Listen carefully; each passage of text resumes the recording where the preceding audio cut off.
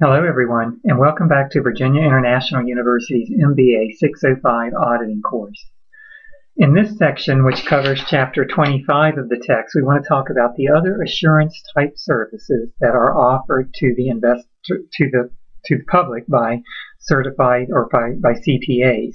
Um, we've covered a lot of time this semester really focused on the audit of financial statements, and we said early on that audits were a subpart of attestation services, and that along with these audits are um, assurance services, which are just other attestation services that are not as um, complete as an audit. So we want to cover and talk about a little bit of those in this section. So what we'll talk about is understanding the level of assurance and evidence requirements for review and compilation services, which are like audits, but they're not audits, and there are some very distinct important differences, particularly with respect to the legal liability of the CPA. We want to describe some special engagements to review interim financial information for public companies, and we want to distinguish the AICPA attestation standards from auditing standards and know the type of engagements to which they apply. Further, we want to understand the nature of web trust and systrust assurance services, which are really um, internet-based um, services offered by CPA firms. We want to describe engagements to report on internal controls at service organizations, and so we'll want to talk a little bit about, well, what is a service organization? And then we'll want to understand special engagements to attest to prospective financial statements.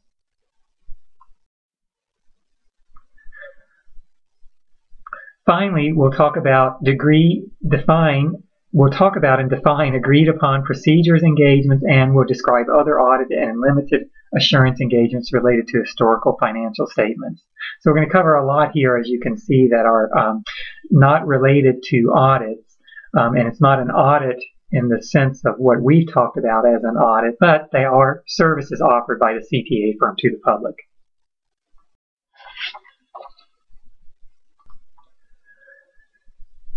So the standards uh, for accounting and review services are developed by a committee which has authority equivalent to the Accounting Standards Board for services involving unaudited financial statements of non-public companies.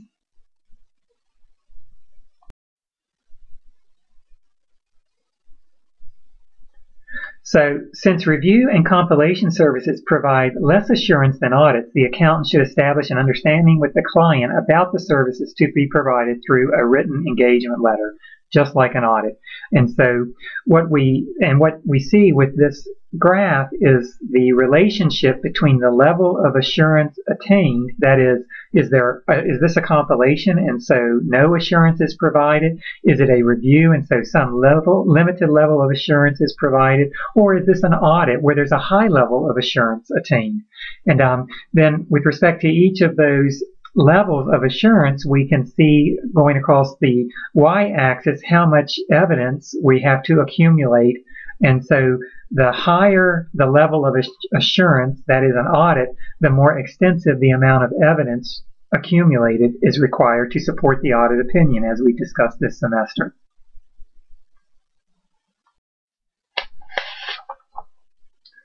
So review services are an engagement designed to allow the accountant to express limited assurance that the financial statements are in accordance with applicable accounting standards.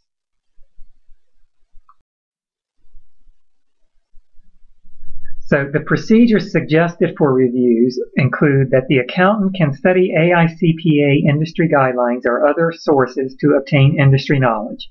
The level of knowledge about the client should be less than the amount of knowledge for an audit. However, the information should be about the nature of the client's business, its accounting records, and the principles and practices used by the accountant or by the client.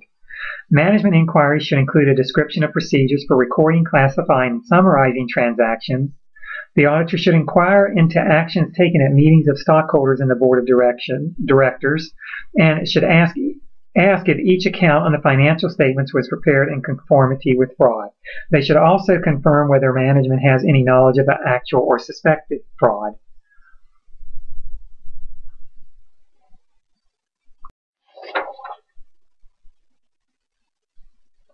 And this figure shows the um, an example of a review report.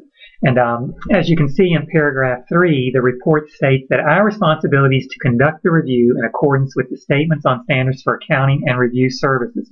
This is different from what's stated in the audit report. Um, it, it, further elaborates that those standards require us to perform procedures to obtain limited assurance that there are no material modifications that should be made to the financial statements. We believe that the results of our procedures provide a reasonable basis for our report. Then the fourth paragraph goes on to say that based on our review, we are not aware of any material modifications that should be made to the accompanying financial statements in order for them to be in conformity with accounting principles generally accepted in the United States. And so what we call that paragraph is negative assurance. We're saying that we're not aware of any material modifications that should be made. That's an example of negative assurance. Compilation services are defined as one in which the accountants prepare and present to a client or third party financial statements that are based on the information obtained from the client. The CPA firm does not express any assurance on the statements, and so keep in mind again, a review and a compilation are not audits. The level of assurance provided for a review is much less than the level assurance provided in an audit, and there is no level of assurance provided as a result of a compilation.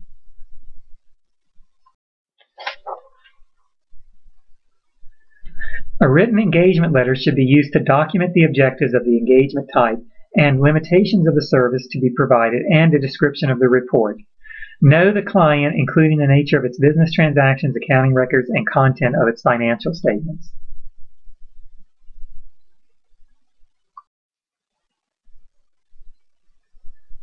And so for a compilation, what the uh, CPA firm is required to do is to determine whether the client's information is satisfactory and then review the compiled financial statements for any obvious omissions or errors in math and GAAP.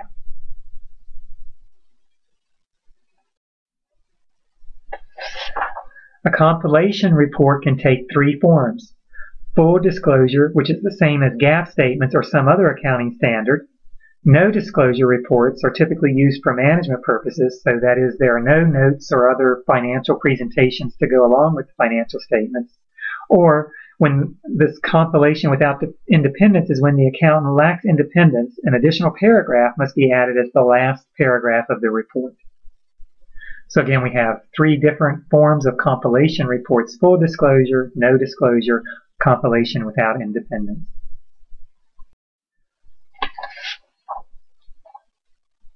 And here we see the form of a compilation report. And um, the important uh, point to make here is that last paragraph where we state that our responsibility is conduct the compilation in accordance with statements on standards for accounting and review services issued by the AICPA. The objective of the compilation is to assist management in presenting financial information in the form of financial statements without undertaking to obtain or provide any assurance and that there are no material modifications that should be made to the financial statements.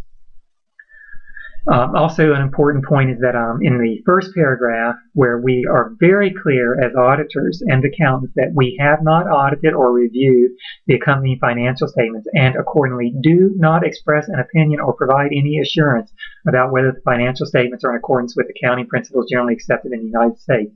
And so we're very clear that we are not expressing an opinion on the adequacy of the financial statements or whether they are um, fairly present or reflect the results of operations. And that's a big difference between a compilation report, a review report, and an audit opinion. So if we're issuing a compilation report without disclosures, the first three paragraphs remain the same. However, we add a second pair or another paragraph that states management has elected to omit substantially all of the disclosures and the statement of cash flows required by principles generally accepted in the U.S. So, and finally, we finally we state that accordingly, the financial statements are not designated for those who are not informed about such matters.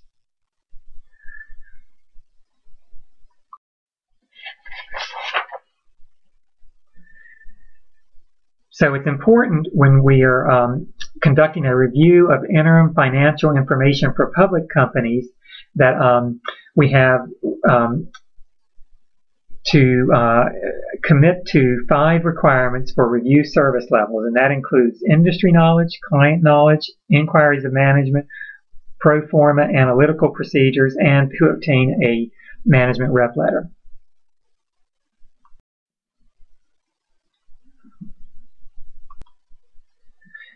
And so again, when we're performing a review of interim financial information for public companies, we are um, not providing a basis for expressing a positive form opinion. The review is conducted according to the standards of the Public Company Accounting Oversight Board, and there is no reference to the SARs in the review report. So again, this is when we're reviewing interim financial information on public companies.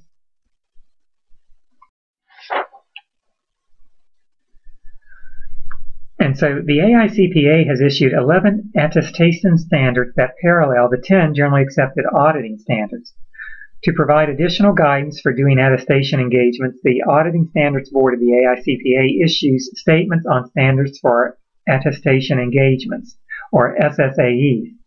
In general, auditing standards apply to attestations that deal with providing assurance on historical financial statements, including one or more parts of those financial statements. The ASB decided not to attempt to define the potential boundaries of attestation engagements except in conceptual terms because new services are likely to rely, arise. Three levels of service are examinations, reviews, and agreed upon procedures.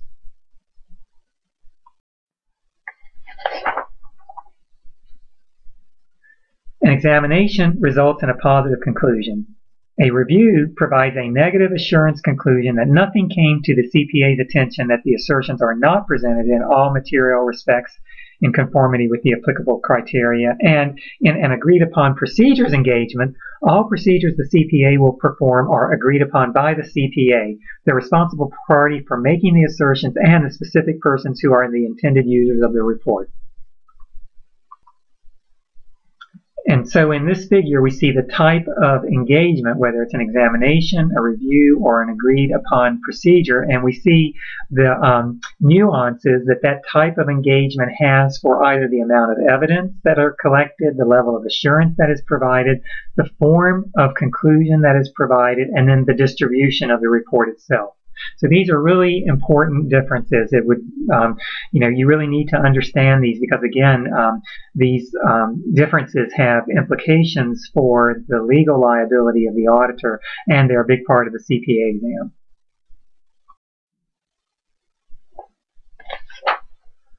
So the Web Trust Service is a specific service developed under the broader trust services principle and criteria jointly issued by the AICPA and the CICA. The CPA firm assesses whether the company's website complies with the five trust services principles. So this is really for um, companies who want to have some sort of an independent evaluation of their web service performed, particularly retailers. And then you've probably seen this in some websites you've gone into that they'll have um, um, a small icon that uh, says Web Trust or AICPA um, uh, audited, and um, it lends more credibility and integrity to that site. So here we see what the five trust services principles are that were referred to um, previously under the Web Trust Services. And we, the principles are around security, availability, processing integrity, privacy, and confidentiality. And what this says is that as a result of the um, services provided by the CPA firm, the CPA firm is able to say whether the entity discloses and maintains compliance with it. And then we go down for each of these principles and um, see what's been reviewed and tested as a part of the web trust services provided.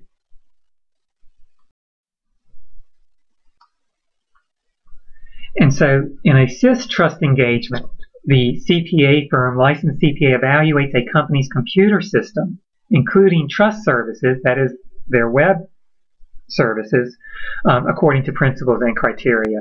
The service provides assurance to management, directors, or third parties about the reliability of information systems used to generate real-time information.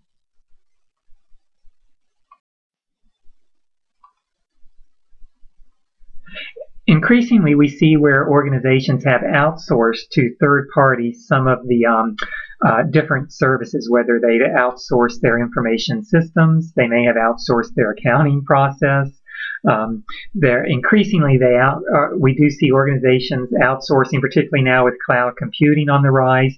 Um, we see serv- organizations outsourcing these. Well, these outsourcing services provide information. It could be financial information, it could be um, peripheral information, but they provide information that um, we often want to have some sort of uh, review of in order to understand the integrity around that information.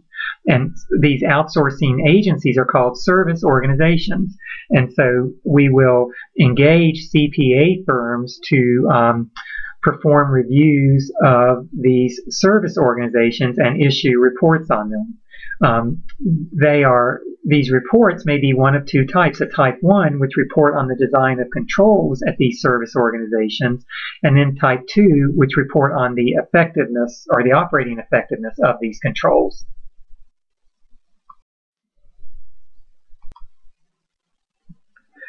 Forecasts are prospective financial statements that present an entity's expected financial position, operating results, and cash flows. Projections are prospective financial statements that present an entity's financial position, operating results, and cash flows to the best of the responsible parties' knowledge and belief, given one or more hypothetical assumptions. Prospective financial statements are prepared for one of two audiences general use statements for any third party, and limited use statements solely for third parties with whom the responsible party is dealing with. Types of engagements on these statements include an examination, a compilation, or an agreed upon procedures engagement.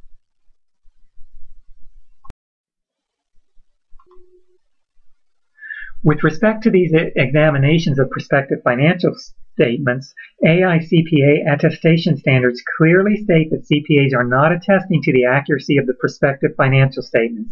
Instead, they examine the underlying assumptions and the preparation and presentation of the forecast or projection. For examination, there are four elements.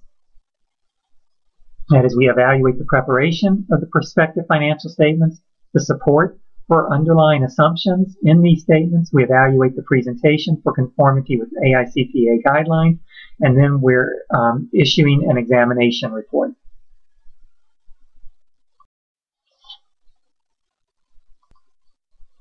And so for agreed upon procedures engagements, the audit is limited to certain specific audit procedures that are agreed to between the parties.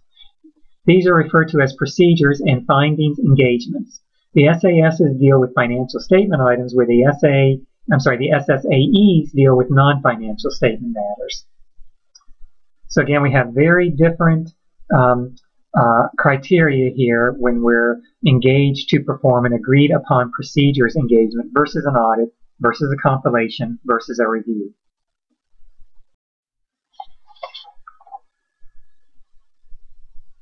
With cash basis accounting, only cash receipts and disbursements are recorded. Under modified cash basis, the cash basis is followed except for certain items such as fixed assets and depreciation. Common examples of the regulatory agency basis include the uniform system of accounts required of railroads, utilities, and some insurance companies. Tax basis uses the same measurement rules used for filing tax returns even though tax rules are not GAAP. An example of a definitive set of criteria is the price level basis of accounting. And so these are just um, examples of other comprehensive basis of accounting that an AICPA that are um, overseen by the AICPA and that a CPA firm may be engaged to perform.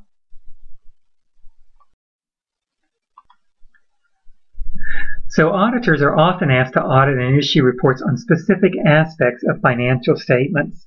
This is a, a, common example is a report on the audit of sales of a retail store in a shopping center to be used as the basis for rent payments.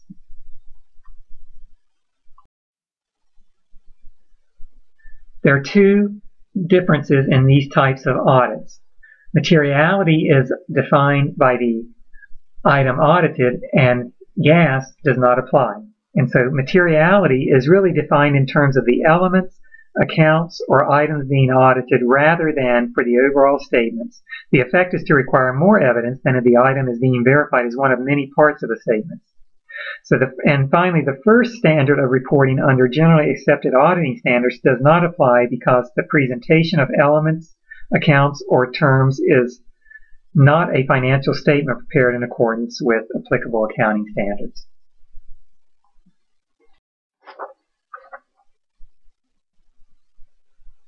Auditors may issue reports on debt compliance and similar engagements as separate reports or by adding a paragraph after the opinion paragraph as part of the report that expresses their opinion on the financial statements.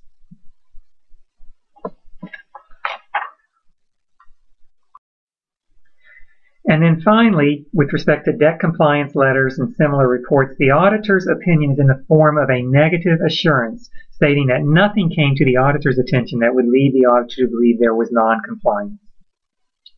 And so this concludes our discussion of Chapter 25 on other assurance services.